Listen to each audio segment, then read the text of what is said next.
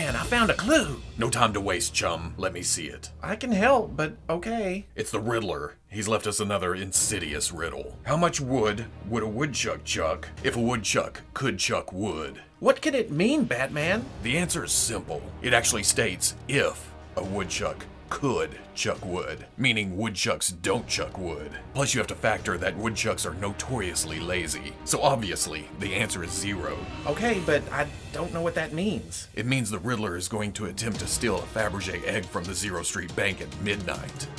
Okay, I guess. Let's go, world's greatest detective.